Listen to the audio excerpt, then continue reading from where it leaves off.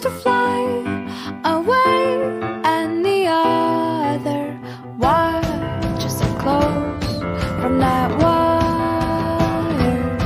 He says he wants.